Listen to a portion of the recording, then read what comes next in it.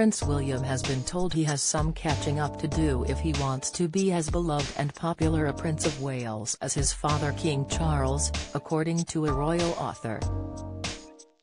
BBC journalist Huw Thomas, author of Charles, the King and Wales, which focuses on the monarch's relationship to the country and its people, said William could be about to launch a supercharge effort to win over the Welsh.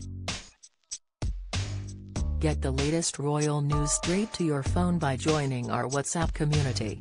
William became Prince of Wales last September upon the death of Queen Elizabeth, when his father Charles who had held the title for over 60 years, became king.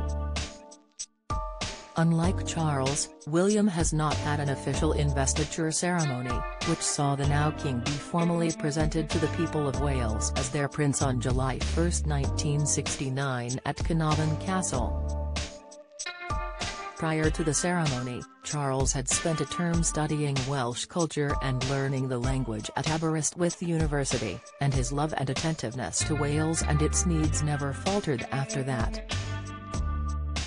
Mr. Thomas told an audience at Hay Festival that William was lagging behind in his duties as Prince of Wales, reported The Times.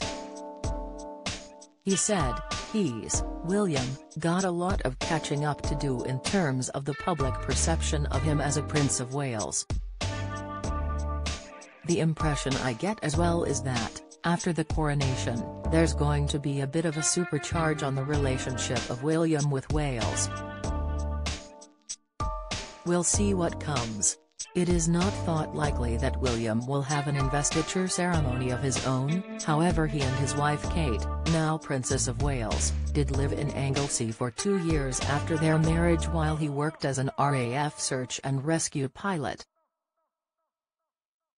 William drew some criticism during a Football World Cup match in Qatar between England and Wales, as the Prince is known for his devotion to the English team. Welsh actor Michael Sheen expressed his displeasure at William sending a message of support to the England side. Mr. Thomas added that William has already begun adapting to the role and trying to fashion the title Prince of Wales to suit his own public image. He said, maybe now there's a focus on mental health initiatives or outdoors. It's a bit more targeted to make sure William is seen to be doing stuff that suits William. Don't miss. Prince Albert's intense childhood under Grace Kelly and Prince Rainier's roof. Latest, Prince Harry wanted out of royal family years before Megxit drama unfolded. Reveal, Princess Charlene isolated at Monaco F1 despite her husband's presence. Claim, Insight, both Kate and William have made several trips to Wales in recent months, including one to Aberfan which poignantly saw them remember the 28 adults and 116 children who were killed in the landslide disaster in 1966.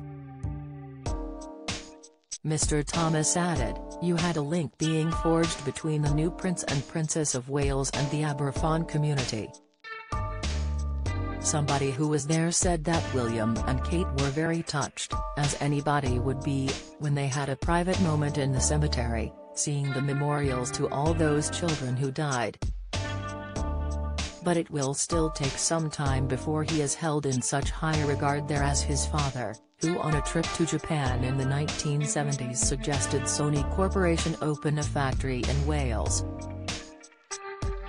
The Sony factory in Bridgend opened in 1974 and still operates as Sony UK Technology Centre to this day.